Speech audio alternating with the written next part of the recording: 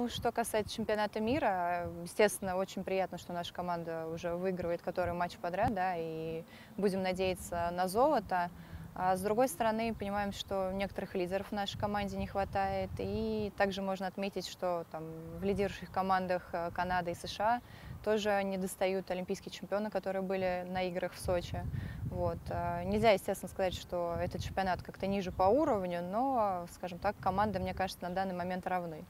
Естественно, со сменой тренера у нас а, ведут какие-то перестановки, рокировки. Вот. И очень интересно за этим понаблюдать, но наши игроки показывают себя в лучшем виде.